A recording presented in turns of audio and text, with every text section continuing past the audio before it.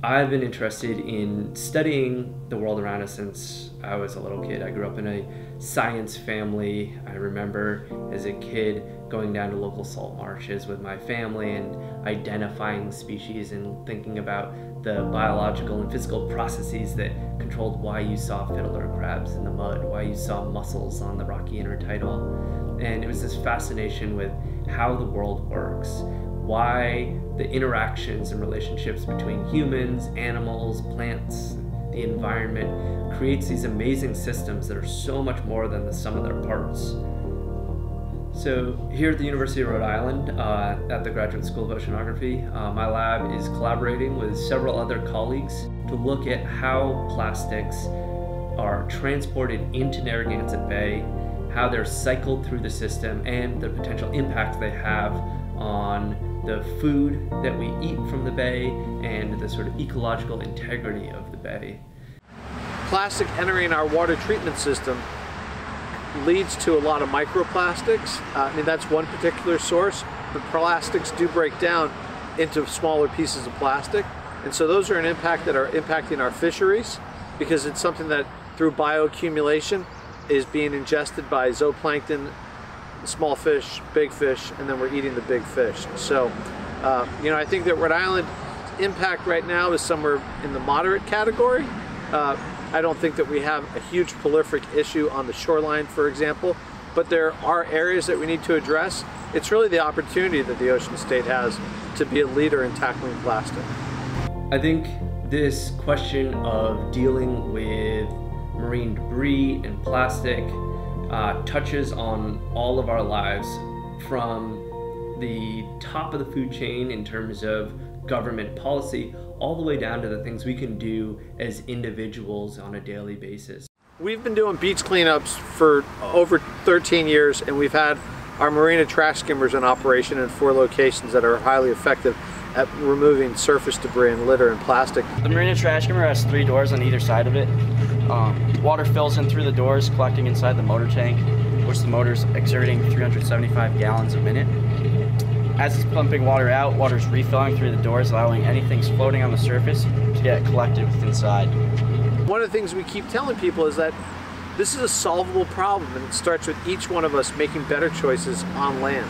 And after saying that so many times and thinking about the choices that we make on land, and then understanding the dire situation of our waste management in the state of Rhode Island with the landfill filling up in about 15 years, what dawned upon us was that behavior, that's really the key of it, it's behavior.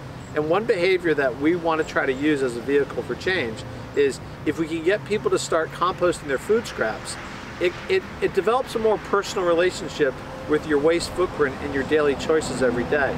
Uh, almost 33% of material at a residential level is compostable material and so if we can pull that out of the landfill, it will reduce the amount of methane gas that's being created in the landfill.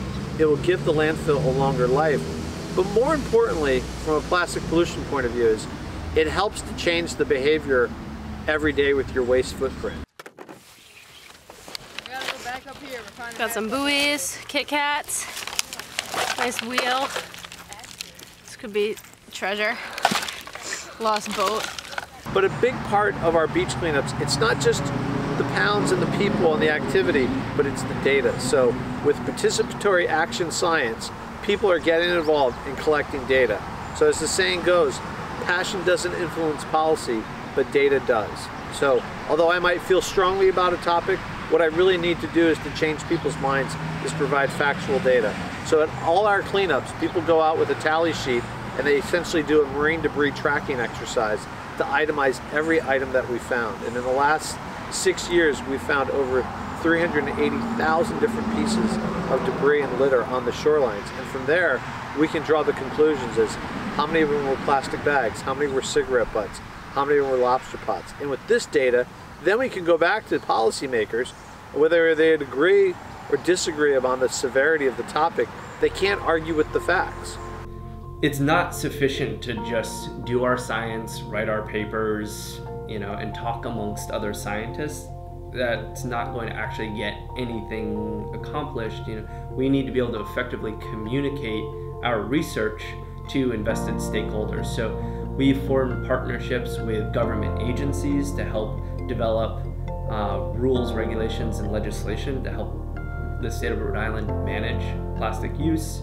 We talk with local fishermen to help them understand how uh, plastics can impact the food webs that support local fisheries and the safety risks that might be involved in fishing in different locations within the bay. Not all places in the bay have the same exposure to plastics. We talk to the general public when we have the open house here at the Graduate School of Oceanography. We actually have an exhibit all about beach cleanup.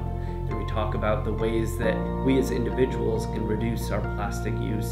So we share that public outreach to get people on board, not only so that they can reduce plastic in their household, but they can make informed decisions as they're voting for the people that lead our state to make well informed, scientifically backed decisions on legislation and rules.